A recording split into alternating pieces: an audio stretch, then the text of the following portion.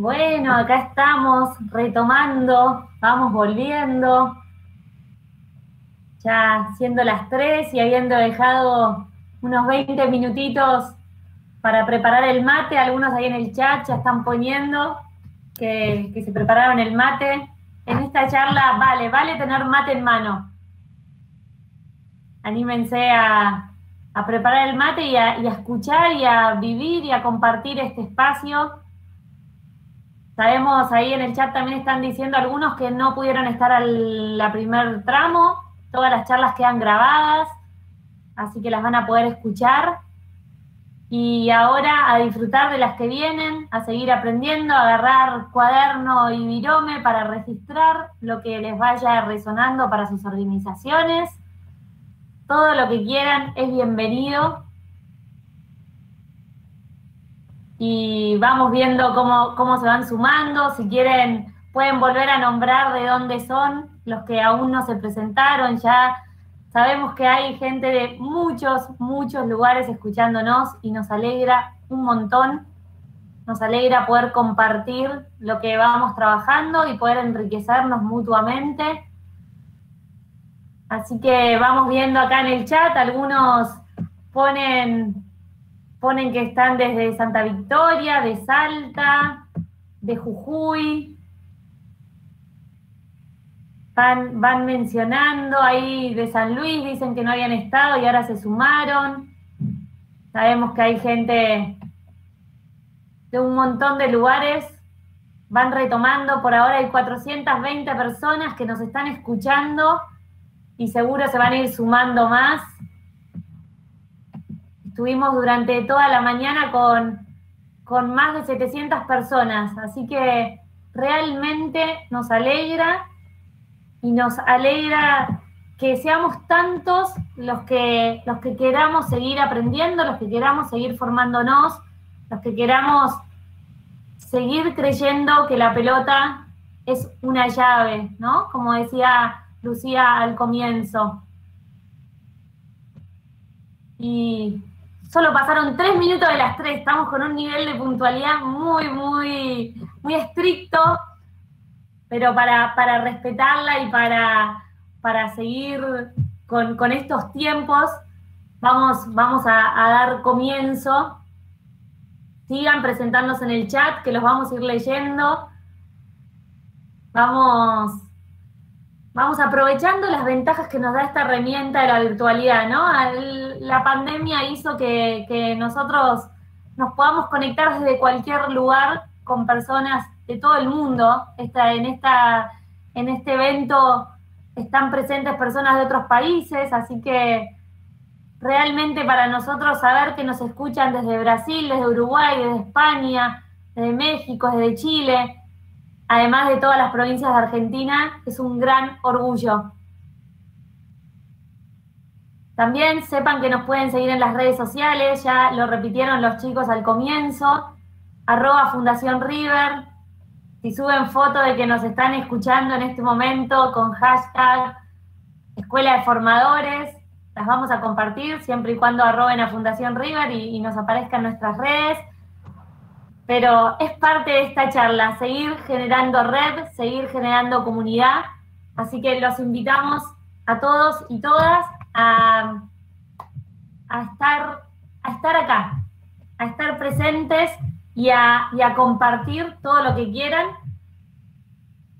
Y mm, bueno, en primer lugar me voy a presentar, a mí algunos me escucharon al principio, al principio de todo cuando empezó. Mi nombre es Teresita Tibó, soy actual coordinadora de los programas de Fundación River, em, estudié trabajo social y nuevamente con un panel de lujo, como todos los paneles que nos acompañan durante este día, creemos realmente que son paneles de lujo. Así que hoy estoy con Teresa Cornejo, que estudió psicopedagogía, y que es coordinadora de otro de los programas de Fundación River. Bienvenida, Tere. Hola, ¿cómo están? Muchas gracias por estar ahí del otro lado escuchando y compartiendo este momento. Y con Tatiana Fernández, un lujo tenerla a Tati entre nosotros. Tati también trabajadora social, trabaja en una de las instituciones con las que nosotros eh, articulamos y eh, esto que en otras charlas mencionábamos de que desde Fundación River tenemos aliados en cada territorio. Tati forma parte de una de estas alianzas. Bienvenida Tati, gracias por estar con nosotros. Hola, buenas tardes. Muchas gracias por la invitación y, por compartir las experiencias eh, de, lo que nosotros hacemos aquí en Santiago del Estero. Gracias, chicas. Bueno, y ahora, para seguir un poco como les mencionaba Pablo hoy en una de las charlas, tenemos charlas que son más bien teóricas y charlas que son de compartir experiencias, de ir, de, de mayor interacción con el público. Esta es una de esas en las que queremos que ustedes estén presentes, que ustedes se conecten con su realidad, con su barrio. Y para eso los voy a invitar como los invitó Pablo al comienzo a cerrar los ojos, esta vez van a tener otra pregunta de fondo. Ya no es la mirada, o la mirada también está presente. Y los voy a invitar a que respiren profundo, a que se conecten con ustedes. Venimos de, un rato así de descanso, de, de sacar un poco la cabeza de tanta charla. Bajemos concentrémonos y estemos acá. Y en este cerrar los ojos y conectar con ese, con ese corazón que late, poder identificar cómo viene esa respiración, si viene agitada, si viene tranquila,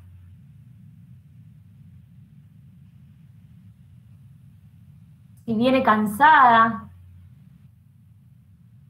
estando ahí en su respiración, los invito a imaginarse caminando. Ustedes están caminando. Cada uno de ustedes desde el otro lado, en su lugar está caminando, en el paisaje que quieran.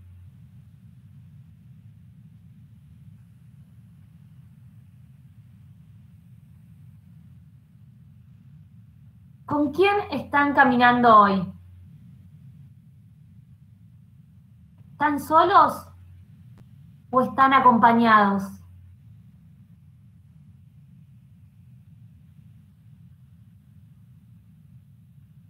¿Quién o quiénes los acompañan en su camino? ¿Quién está caminando al lado de ustedes? Puede que estén caminando con algún amigo o amiga, puede que estén con algún familiar, con algún compañero de trabajo, con algún maestro, con aquella persona que los miró. ¿Con quién caminan hoy? Quédense con esa pregunta y con esa imagen.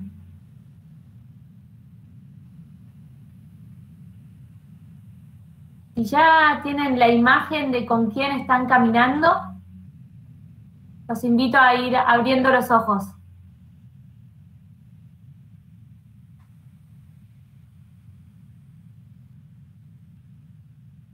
Me imagino que seguramente muchos de ustedes se vieron caminando con otros.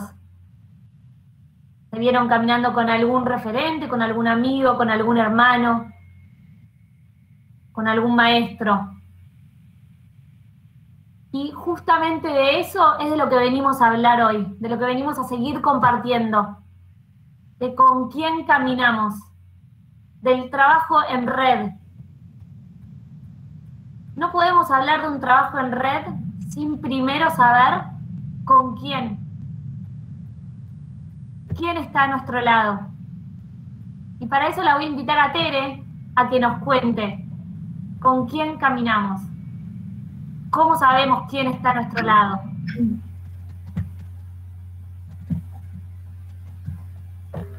Bueno, y ahora sí, eh, como dijo Tere recién, para poder entender el con quién caminamos, creo que es muy importante conocer a la población con la cual nosotros vamos a trabajar, ¿no?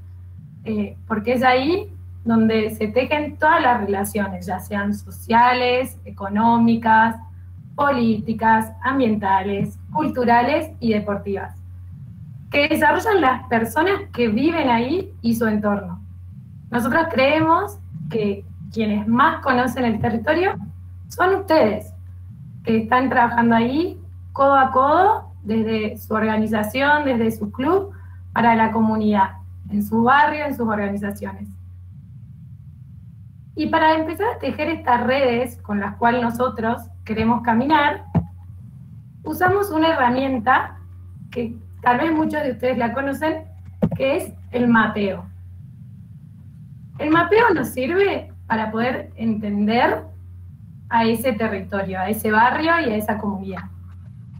Para saber cómo está organizado, cómo se divide geográficamente, dónde están las plazas, dónde están las canchas, dónde está la iglesia, em, para ver cómo es la participación de los vecinos en las distintas actividades que se ofrecen ahí en el barrio, para también entender qué actores eh, intervienen en este proceso, eh, qué organizaciones hay, cuántas organizaciones hay. Seguramente, o tal vez alguno de ustedes, alguna vez realizó un mapeo de su club, de su organización, de su institución o del barrio. Y si alguno realizó este mapeo, les pedimos si quieren, eh, pueden compartirnos ahí en el chat y vamos a ir leyendo su experiencia. Y para continuar, ¿cómo desde Fundación realizamos este mapeo? En primer lugar, creemos que es re importante ir y conocer el territorio recorrer el barrio, caminarlo, escuchar a las personas que viven ahí, escuchar a los vecinos, porque como dije recién, quienes más conocen el lugar y el territorio son ustedes, los que están ahí en ese lugar, ¿no?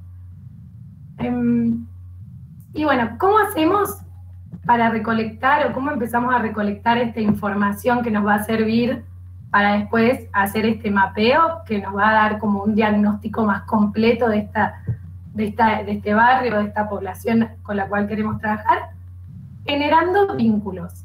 ¿Y cómo lo generamos? Como decía recién, escuchando a la comunidad, caminándola. También es re importante conocer a los distintos referentes. Esos referentes pueden ser referentes barriales, referentes sociales, referentes deportivos. Son personas específicas que realizan alguna actividad o alguna acción ahí en el barrio, en la comunidad, ¿no? Muchos de ustedes son grandes referentes eh, de ahí, de esas comunidades, ¿no? Son aquellos que acompañan a esas familias, a esos niños y a esas niñas que participan de sus actividades. También creemos que es importante entender qué organizaciones hay, qué tareas realizan estas organizaciones. Hay un montón de organizaciones, pueden ser organizaciones de la sociedad civil, pueden ser organizaciones no gubernamentales, pueden ser organizaciones políticas. Bueno, lo importante es entender qué tareas realizan y cuál es la llegada que tienen esas organizaciones al barrio, a la comunidad, a las familias. ¿Qué oferta tienen? ¿Qué actividades? Por ejemplo, pueden tener un merendero, un comedor, pueden realizar apoyo escolar, pueden tener cooperativas de barrio de limpieza, y así como un montón de organizaciones que, seguramente ustedes conocen. También para ir avanzando en este mapeo y ir ubicando las distintas cosas, está bueno saber si hay iglesias, si hay templos, si hay parroquias, cuál es el alcance de las familias a, estas comunidades y qué trabajo realizan con las familias.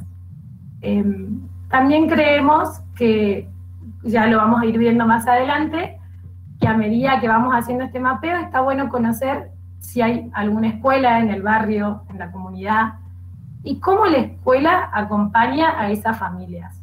¿Qué alcance tiene? ¿Qué conocimiento tiene la escuela del barrio?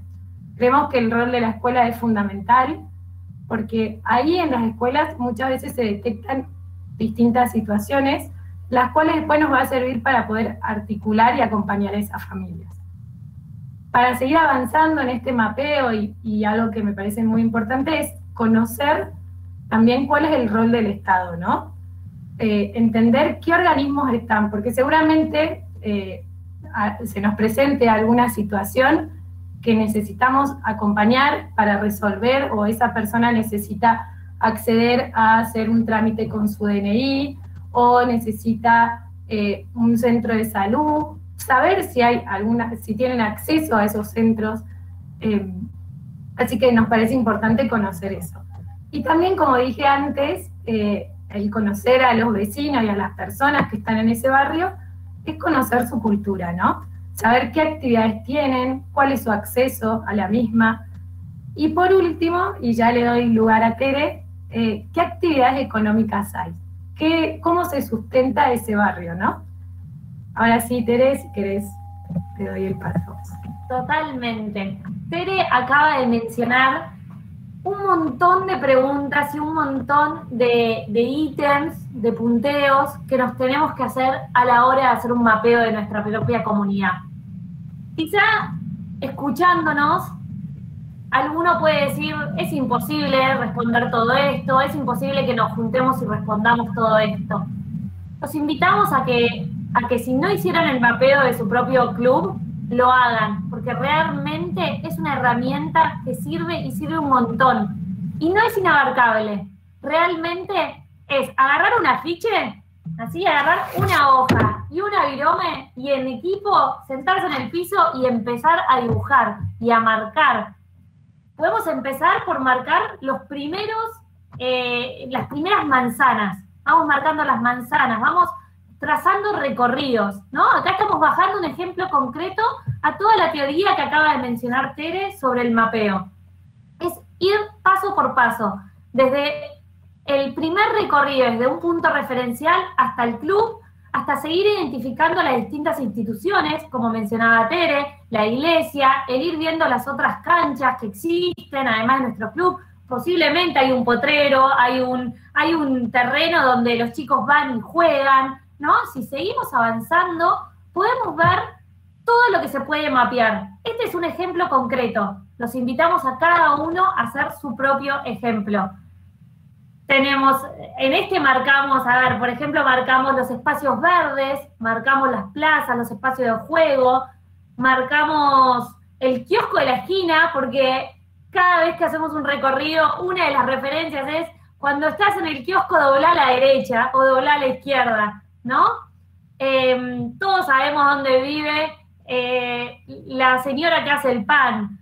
Entonces, eso es importante en nuestro mapeo cada mapeo de cada institución va a ser distinto, porque todos tenemos algo distinto que nos parece importante y que necesitamos marcar. También podemos marcar las familias que vienen a, nosotros, por ejemplo, marcamos las familias que vienen al programa de valores a la cancha. Acá marcamos algunas como ejemplo, y como en una misma manzana viven muchas familias, les pusimos referencia, ¿no? Y pusimos uno, dos, tres, y después al lado, en las referencias, como todos los dibujos que tienen su referencia, pusimos familia López, familia Vicente, familia Juárez, todas identificadas. También nos sirve mucho a veces marcar las distintas realidades que hay en el barrio. Nosotros en uno de los barrios vemos que hay muchas calles que son muy oscuras y que eso hace que la gente no camine tanto por ahí o que en algún momento si surgiese algún proyecto se podrían iluminar. Entonces las marcamos también marcamos con rayitas y esa es una referencia nuestra. Ustedes pueden elegir qué referencia ponerle. Esta referencia a nosotros nos sirve, ¿no? Y se las compartimos para que ustedes vean que es real y que pueden mapear su propia comunidad, su propio barrio y lo pueden mapear o les recomendamos que lo mapeen en equipo, porque siempre, siempre más ojos miran más que solo dos, ¿no? Entonces, Quizás yo cuando empecé a marcar se me ocurrieron algunas cosas, se sumó Tati, marcó otras, se sumó Tere, marcó otras, y así fuimos armando el mapeo de la comunidad. Este, de vuelta, es un ejemplo, los invitamos a ustedes. Probablemente si esto hubiese sido presencial, estaríamos todos divididos en grupo en este momento, eh, con afiches en el piso o en distintas mesas marcando las distintas eh, instituciones y organizaciones que trabajan en nuestro barrio. ¿No? Em, puntualmente con con el mapeo nosotros les queremos, queremos compartirles, a ver, ¿qué es lo que queremos hacer o qué buscamos cuando mapeamos? Buscamos tejer redes. Buscamos tejer redes para poder profundizar las relaciones con las, entre nuestra organización y las otras instituciones que existen en el barrio. Como mencionábamos antes, necesitamos conocer, conocer con quién estamos. Conocimos a través del mapeo con quién estamos y ahí podemos empezar a tejer redes. ¿Qué es una red? Una red es un espacio donde se establecen distintas relaciones, ¿no? De intercambio entre los distintos participantes de la red. Pueden haber redes específicas, redes de educación, redes de clubes, redes de, de comedores, o puede haber redes también, y puede haber redes también, de variadas instituciones que comparten un mismo espacio, que trabajan en un mismo territorio, que acompañan a las mismas familias.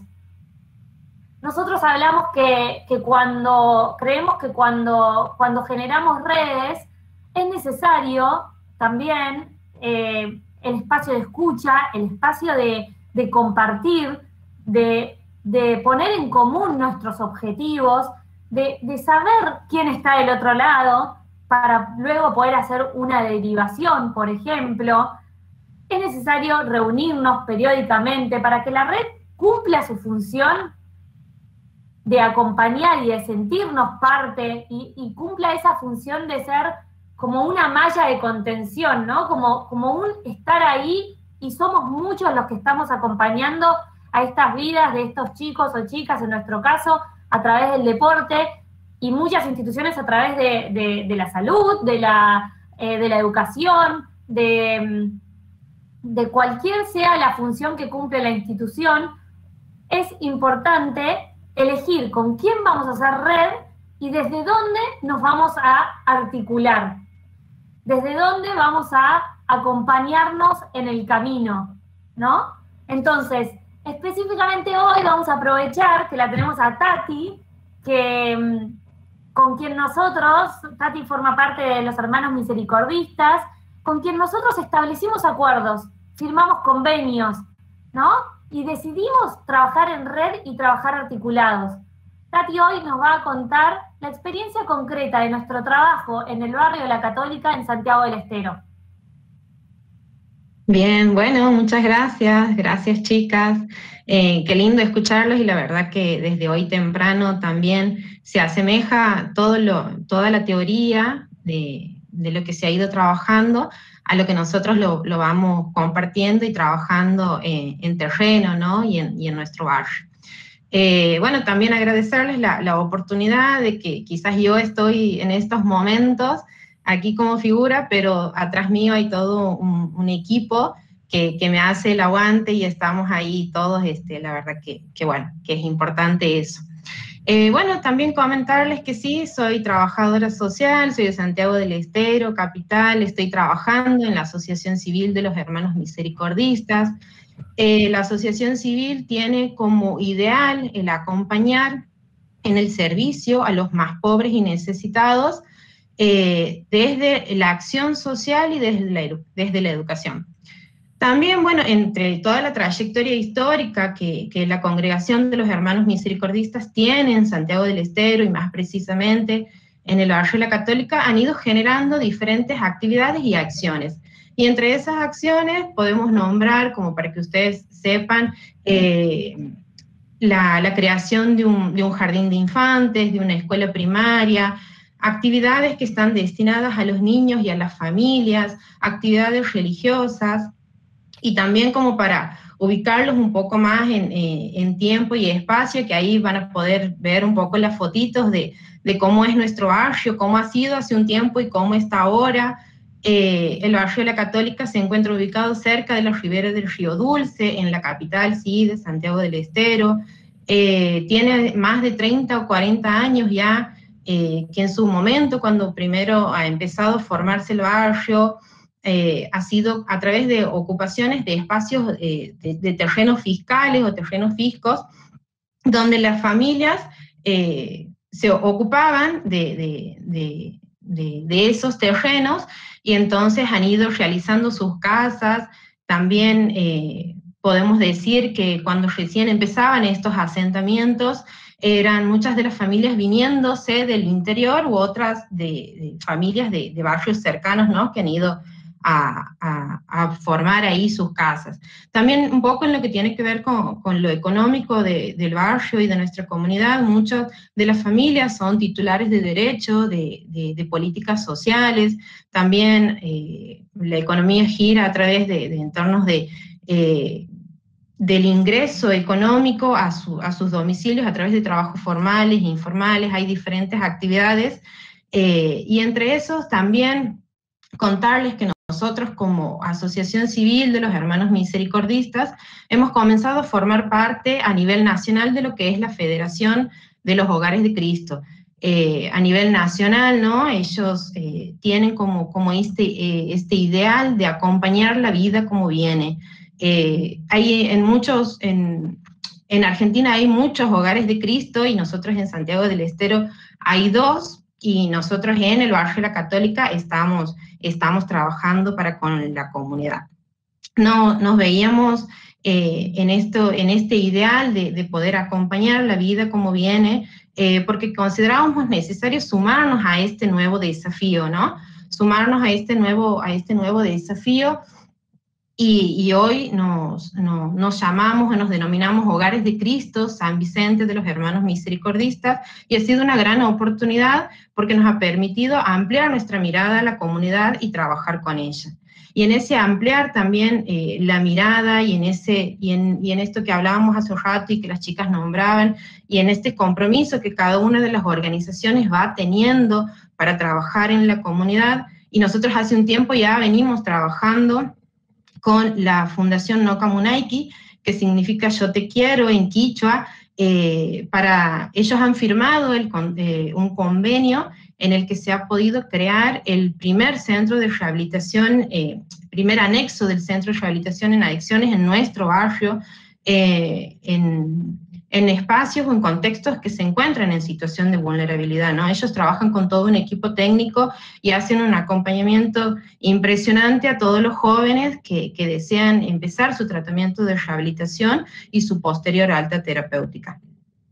Y bueno, y también en eso, ¿no? De que como la vida eh, es impredecible y la vida te va uniendo y estoy convencida de que nos va llegando, eh, nos va uniendo y con, personas que, caminan esos espacios a donde no todos se animan a llegar y no todos llegan y amplían la mirada y, con la esperanza de, poder generar cambios en el acompañar al otro y en esto de caminar juntos, ¿no? Como, como hablábamos hace un rato, eh, tres organizaciones se han ido mirando, tres organizaciones han ido pensando eh, la manera esta de, de acompañar integralmente la vida de las familias y sobre todo de los niños.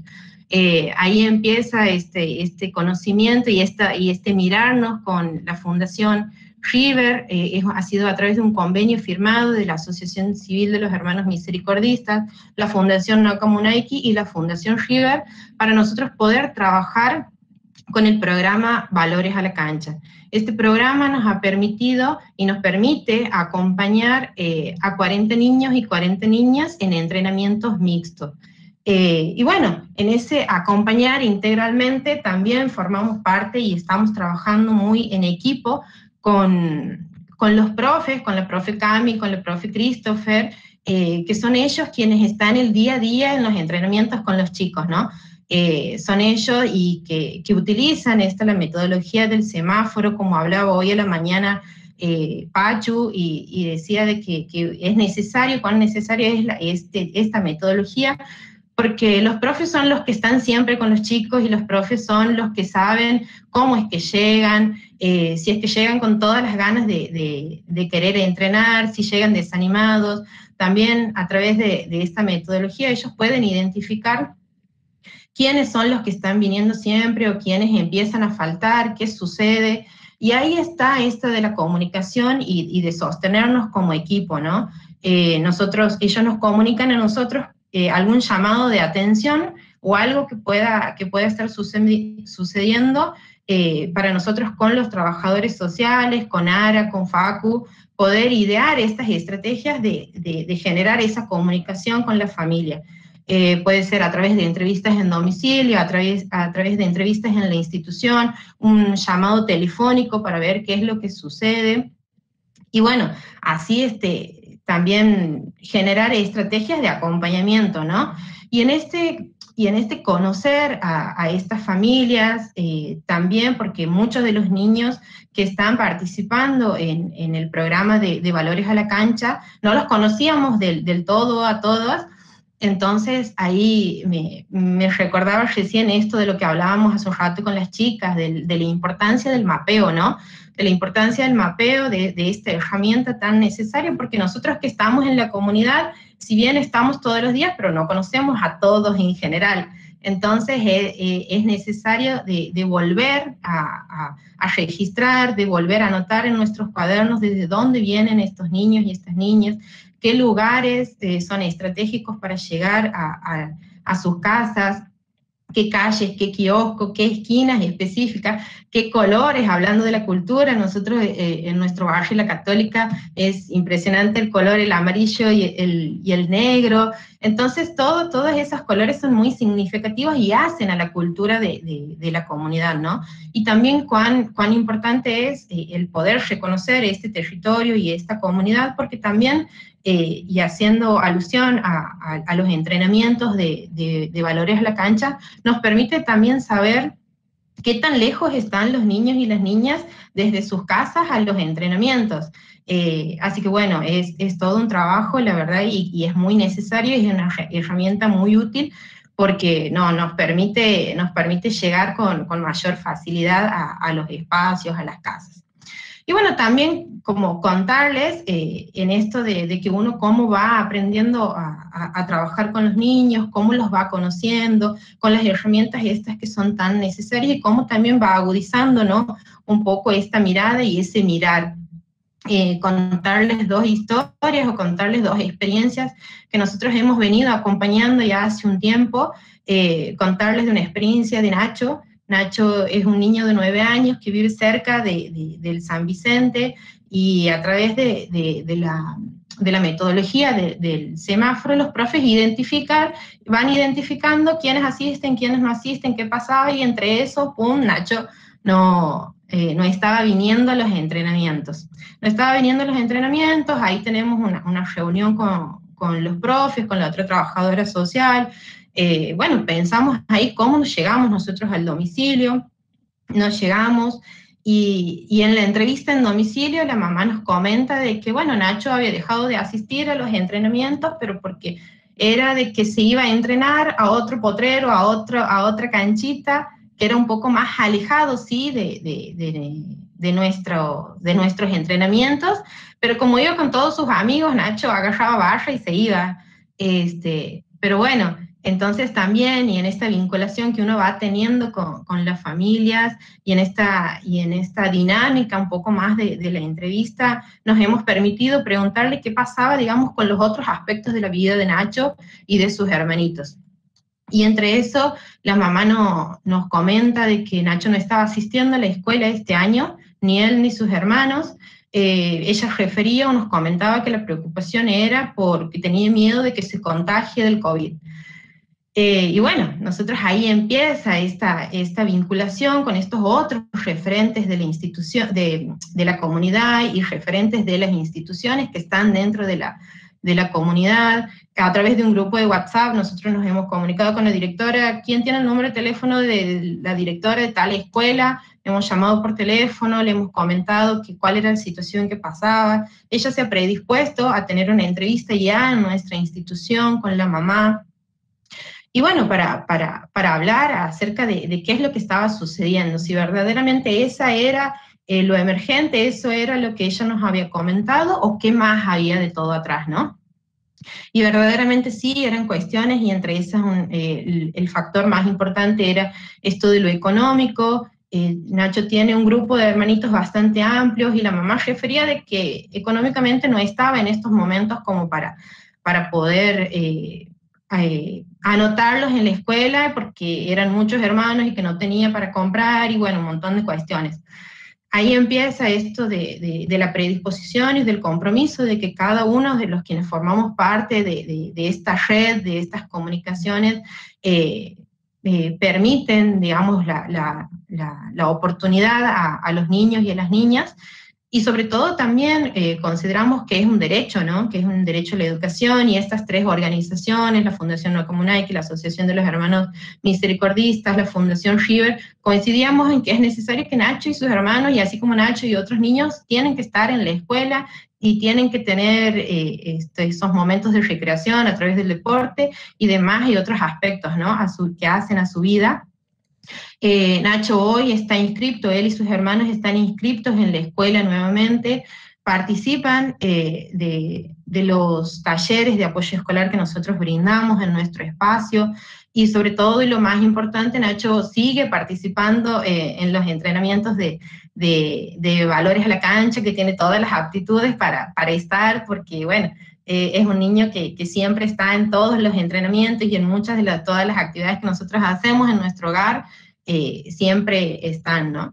Y con esto de que, de que también como uno va, va sensibilizándose y va ampliando un poco más la, la, mirada eh, para con nuestros niños, ¿no? Para con nuestros niños y nuestras niñas y los vamos conociendo y vamos viendo cómo, cómo llegan a nuestros entrenamientos, a nuestros hogares, a nuestros clubes. Se nos ha presentado una situación puntual, eh, una situación puntual de, de Nahuel, su mamá ha llegado eh, desesperada, un día X, llega desesperada al San Vicente en busca de, ayuda y terapia individual para ella, porque consideraba, pensaba ella que había hecho clic por una situación que había, que había pasado Nahuel, eh, un niño de nueve años ha, intentado autolesionarse. Imagínense ustedes esa mamá joven desesperada por toda esa situación. Tiene ella su entrevista con, la psicóloga, eh, nosotros después tenemos una entrevista, una, perdón, una, una reunión con los profes y, les comentamos qué es lo que había pasado y entre ellos sí, los profes sí, verdaderamente Nahuel es un niño que siempre está, pero el que menos hace caso y, y que había sucedido, que, que Nahuel había tomado ese llamado de atención porque había presenciado una situación de violencia por parte de sus papás. En esta familia hay muchas situaciones problemáticas que las atraviesan y entre esas violencia de género, consumo de sustancias, em, intentos de suicidio también por parte de sus papás y entre otros, y entre otros factores que hacen, digamos, a, bueno, a, lo complejo ¿no? de, las familias y de las situaciones. Eh, nosotros hemos tomado comunicación con, con, con, otros de los referentes de otra institución, de una institución de salud, eh, Nahuel hoy está realizando sus terapias individuales eh, en este centro de salud cercano y de nuestra comunidad. Nahuel sigue participando en los entrenamientos. La mamá de Nahuel está realizando sus terapias individuales con, con, eh, con, nuestra psicóloga, el papá ha, empezado a hacer su tratamiento de rehabilitación en, en el periodo de, en esta etapa de motivación. La verdad que nosotros hemos realizado diferentes entrevistas de acompañamientos y después de, de, esa, de ese acompañamiento que, que, uno va generando y este vínculo que va generando con el otro, eh, se da apertura a un montón de, a un montón de posibilidades, ¿no? Y, la familia esta ha demostrado una actitud positiva con respecto a ese llamado de atención y entonces ahí se han generado estos, eh, estas estrategias para, pensar posibles acompañamientos, ¿no? Y cuán necesario es, cuán necesario es esto de, que todos los que formamos parte del equipo y, de, y quienes estamos presentes, eh, de, poder mirar y de poder, y de poder comprender de que quizás lo que yo no puedo ver, lo puede ver la profe, lo puede ver la otra trabajadora social, lo puede ver la psicóloga para poder generar y esa comunicación con estos otros referentes eh, de, dentro de la comunidad o otras, otras instituciones. Eh, y de que hacen necesario y, y, fortalecen mucho, fortalecen mucho al equipo hablando y esto en lo que tiene que ver con eh, haciendo referencia al fútbol, eh, llega un momento de que consideramos necesario parar esa pelota, ver qué es lo que está pasando con cada uno de los niños y de las niñas, y así entre todos poder acompañarnos y sostenernos, este, bueno, para, para, bueno, para el bienestar de, de nuestros niños y nuestras niñas, ¿no? Eso, agradecer, agradecer nuevamente y como siempre lo, lo, digo, lo compartimos con las chicas o cada vez que van a Santiago del Estero, gracias eh, por mirar a Santiago del Estero, por mirar al barrio la Católica, por mirar a nuestra comunidad San Vicente, a tantos niños que ahí se los ve que como era antes este, eh, el, San Vicente, que hoy es la, la escuela, perdón, que hoy es todo el polideportivo en donde están los entrenamientos. Eh, son muchos niños y muchas niñas que, que, siempre están en, todas las actividades que nosotros hacemos y que verdaderamente necesitan del compromiso de, de todas estas personas y de estos referentes para, para poder acompañar a su vida. Así que bueno, muchísimas gracias. Gracias a vos, Gracias por, por hacernos visible, ¿no? E, este, estas historias de Nacho y de Nahuel, eh, que seguramente muchos de ustedes que nos están escuchando y nos están mirando, eh, tienen un Nacho, tienen un Nahuel en su propia comunidad, en su propio club, ¿no? En su propia organización, en su propia institución. Entonces, buscábamos eso con, este ejemplo concreto de Tati, de, de poder, poder hacernos más cercano esta realidad que vivimos día a día, ¿no? Y conectar con, con esto que, nos atraviesa a todos y con esta oportunidad que tenemos de, acompañar de una manera integral a los chicos y chicas con, quienes, eh, quienes participan de nuestros programas. Por un lado, ya vimos, y Tere nos contó sobre la herramienta del mapeo, fuimos profundizando en el trabajo en red, en lo necesario que es. Tati lo, hizo visible recién, poniéndole palabra y ejemplo concreto, rostro concreto a este trabajo en red. Y nosotros desde Fundación estamos convencidos que es necesario el acompañamiento desde una mirada integral. ¿Y qué decimos? ¿A qué llamamos mirada integral? A, tener en cuenta a los chicos y a las chicas desde todo su ser, desde toda su persona teniendo en cuenta sus búsquedas y sus deseos, sus emociones, sus palabras, qué nos dicen con palabras y qué nos dicen con gestos, qué nos dicen desde su cuerpo, qué, qué es lo que, lo que les está pasando, cuál es ese contexto en el que están inmersos, cómo está su familia, ¿no? Probablemente a Nacho, a Nahuel y a los tantos chicos y chicas que ustedes acompañan no hubiese sido de la misma forma el acompañamiento si no hubiésemos estado en un trabajo en red, sostenidos y acompañados y desde una mirada integral, teniendo en cuenta toda su realidad.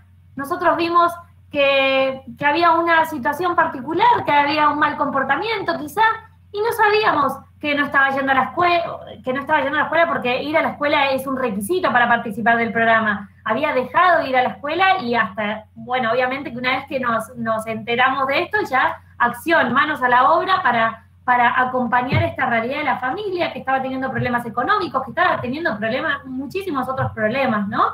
Entonces, esto, quedarnos con la importancia de acompañar desde una mirada integral. Y nosotros, en este acompañamiento y para seguir profundizando, si pasamos a la próxima Filmina, eh, en la charla anterior, y ya Tati recién lo nombró, al semáforo, este, esta herramienta del semáforo que es tan simple y tan enriquecedora y tan valiosa de, un laburo impresionante que hacen los profes de, de ir identificando la realidad de cómo ven a cada chico y a cada chico durante, durante el entrenamiento e ir marcándolo, ¿no? Un, verde que es vía libre para accionar, un amarillo que nos llama la atención y un rojo que es pongámonos en acción urgente, algo está pasando. Ese registro nosotros lo llevamos a la acción, ¿no? O sea, el profe registra y todo un equipo y trabajando en red se lleva a la acción.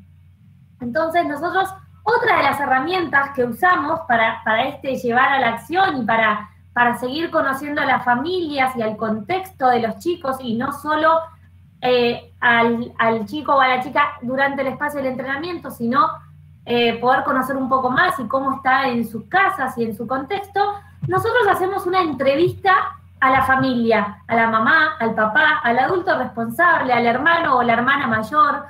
Hacemos una entrevista que es más que nada un espacio de escucha. Es un espacio donde aquel adulto viene a dialogar con nosotros sobre cómo está el chico o la chica, su hijo, su hermano, su nieto, vienen muchas abuelas también. Y en esta entrevista nosotros buscamos sobre todo eso, conocer más allá de los datos duros, conocer más allá de, del nombre, el apellido, el DNI, eh, los certificados de salud que pedimos. Nosotros buscamos conocer qué, qué le pasa a esa mamá, a esa abuela, a ese hermano cuando tiene que hablar de, ese chico. Hacemos preguntas concretas de, de cuáles son las principales virtudes. A la mayoría de las mamás acá se les cae la baba cuando les preguntamos por las virtudes o por, por qué los caracteriza positivamente a sus hijos. Y obviamente también profundizamos en, en qué dificultades está teniendo, qué dificultades creen que los chicos están teniendo, si en la escuela manifiestan algo, trabajamos muy a la par desde hoy a la mañana en este congreso se está mencionando mucho el valor de la educación.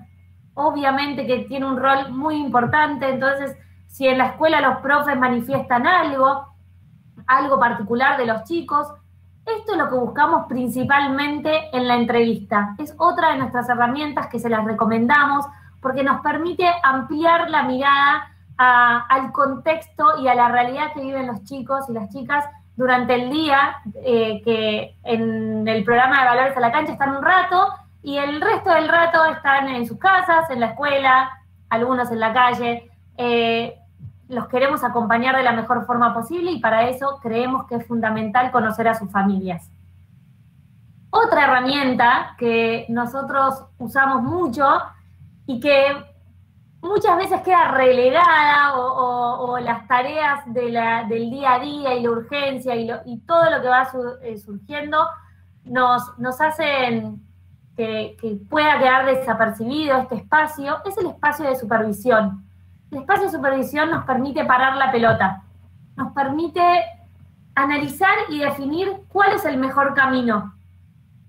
Nosotros para, para acompañar a Nacho, a Nahuel y tantos otros chicos, tuvimos un espacio de reunión, de juntarnos, ¿no?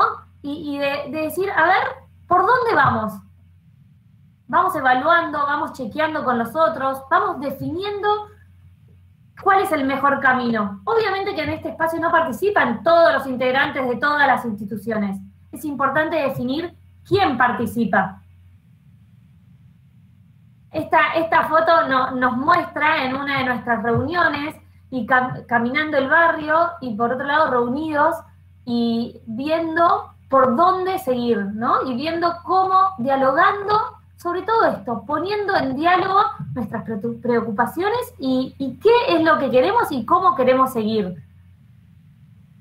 Si pasamos a la próxima filmina, podemos ver, acá detallamos que hasta ahora nosotros vamos viendo por un lado la importancia del mapeo. Esto es como una síntesis de lo que acabamos de charlar. Por un lado, vimos la importancia del mapeo, que nos permite conocer en detalle al barrio, al barrio donde estamos. Por otro lado, la entrevista, que nos permite conocer en detalle a la familia, como les mencionaba recién. El semáforo, que nos permite conocer en detalle de cómo está ese niño, esa niña durante el entrenamiento y nos hace alerta o nos hace seguir camino verde para seguir acompañándolo de manera integral. El espacio de supervisión que nos permite parar la pelota y decidir en equipo el, cuál es el camino que queremos seguir. Ese espacio que, que si, si nosotros cerramos los ojos y pensamos con quién caminamos, en el espacio de supervisión nos vamos a encontrar que caminamos trabajando en red y articulados con otras organizaciones.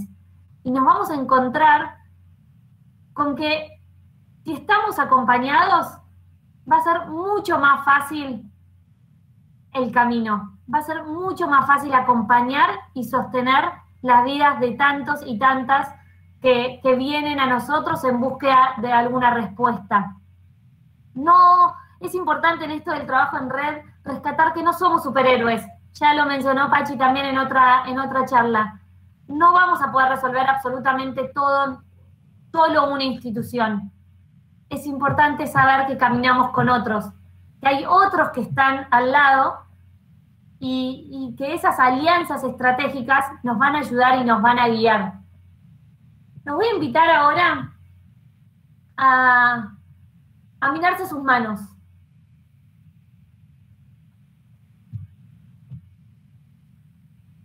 Y, y, ahí mirándose sus manos, pónganlas como yo las estoy poniendo en este momento. Les pregunto, ¿Qué, están viendo en estas manos en este momento? Voy a, voy a mirar el chat y voy a ver qué, qué me dicen. ¿Qué están viendo? ¿Qué hay en estas manos? ¿Qué pasa si en estas manos cae una pelota? ¿Se la puede sostener? ¿Se la puede acompañar o se cae? Nosotros creemos que si en estas manos cae una pelota, la podemos acompañar, como así también podemos acompañar la vida de todos los chicos y chicas que caigan en nosotros. Hay unión. Gracias Marcelo, Florencia, Gonzalo. Los tres pusieron unión. Milagros pone, hay redes. Totalmente. estas manos son esa malla de contención, esa malla que, que nos permite confiar, que nos permite saber que estamos sostenidos, ¿no? Ahí ponen también, se sostiene, se sostiene porque está unida y permite que lo que esté en, esta, en estas manos esté acompañado. Hay vínculo, hay vínculo, como ese vínculo que nos, nos permite trabajar en equipo, que nos permite conocer a cada uno con los que trabajamos. Acá dicen, si se puede sostener y la podemos tener unida entre todos como equipo. Acompañamiento, fuerza. Eso es lo que vemos en estas manos y esa es la imagen con la que queremos que se queden hoy después de esta charla. Que sea donde sea que estén, hay amor, hay unión, hay sostén, siguen, siguen, siguen ahí mencionando, ¿no? Pero lo más importante es que se queden con estas manos unidas y que sepan que hay muchas organizaciones dispuestas a caminar a la par de ustedes y a la par nuestra, ¿no? Pero digo de ustedes para que se animen, si no hicieron un mapeo, si hoy no están trabajando en red, anímense a confiar en que hay instituciones que están para trabajar en red. Hay que distinguirlas, hay que reconocer cuáles son y desde ahí avanzar. Avanzar porque en equipo es mucho más fácil y por experiencia y por el por experiencia se los compartimos, por el trabajo que acaba de mencionar Tati, que, hacemos con ellos, por, todas las herramientas que mencionó Tere también, de, cómo ir identificando un mapeo, les recomendamos que lo hagan. Y bueno, sobre todo eso, agradecerles, agradecerles por este espacio y ahora sí invitarlos a que si tienen alguna pregunta concreta, abrimos el espacio a preguntas, a lo que quieran mencionar, Acá estamos con Tere y Tati para, para seguir compartiendo con ustedes.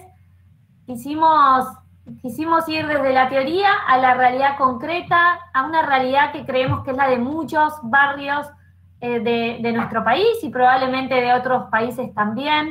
Eh, Tati mostró ahí la foto de Santiago del Estero y a mí se me vienen un montón de lugares de cada rincón del país que hemos recorrido que son muy parecidos Javier ahí dice diálogo y comprensión, equipo, conexión. Qué, qué, fuerte, qué, cuánta intensidad tienen estas palabras, ¿no? Cuánta intensidad si, si realmente creemos en ellas y las llevamos a la acción. Esto de la teoría a la práctica, de la observación a la acción, a poner en movimiento.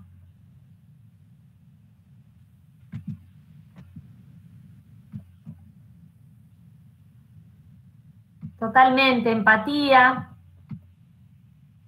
Abrimos que si alguno quiere hacer alguna pregunta, nos quedan unos tres minutitos. La importancia de la integración, ¿no? Totalmente.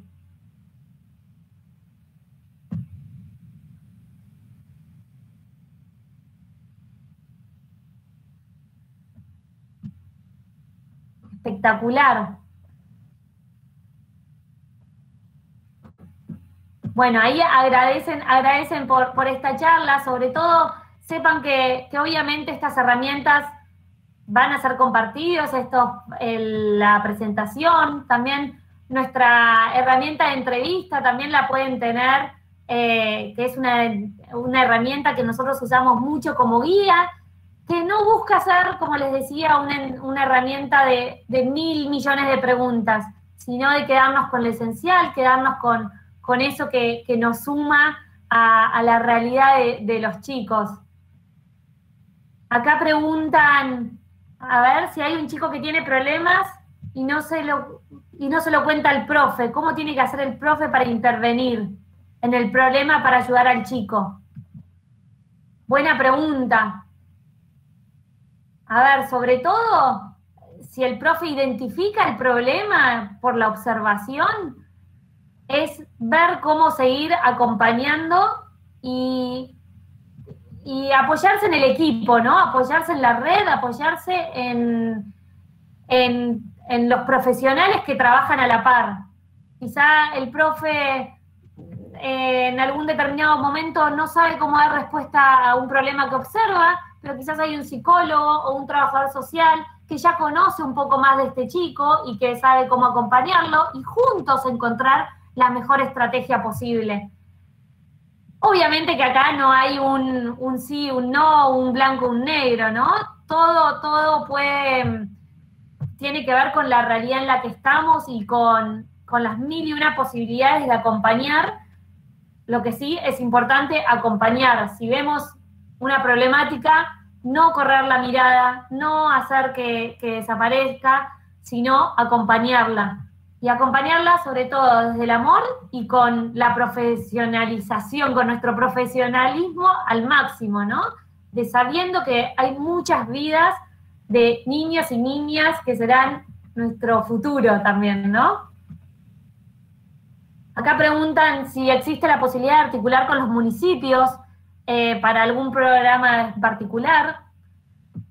Nosotros sí creemos que, es necesario articular con todos, siempre y cuando la organización identifique con cuál le conviene articular, ¿no? Con cuál, cuál organización creemos que es la mejor para articular y, y después ir viendo la realidad de cada barrio, ¿no? Hay municipios que quizás tengan programas para articular y hay otros que quizás no los tengan.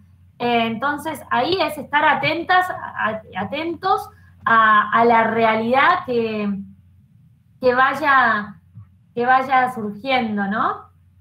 Acá Mauro pregunta, ¿cómo logra un club de barrio para conseguir que profesionales como ustedes que se involucren en cuanto al soporte pedagógico y luego, ahí se me fue, ahí está, y luego hasta dónde debe involucrarse?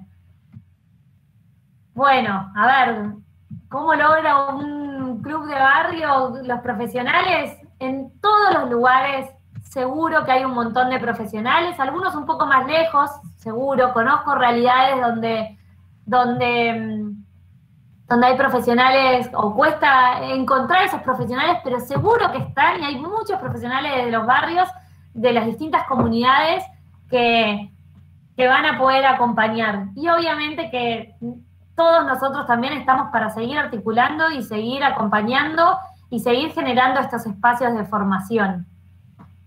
Bueno, quedan varias preguntas más. Al principio estaban un poco tímidos con las preguntas y ahora se fueron sumando un montón. Pero para respetar los tiempos, vamos a, ir dando cierre a esta charla, a este encuentro de vuelta. Estamos en contacto con todas las organizaciones que están participando de este congreso. Vamos a seguir acompañando, vamos a seguir generando estos espacios. Les agradezco enormemente a Tere y a Tati por, por este encuentro y a todos ustedes por estar del otro lado ahí apoyando y sosteniendo, porque se sintió el valor de esta red, de este equipo que está del otro lado. Muchas gracias.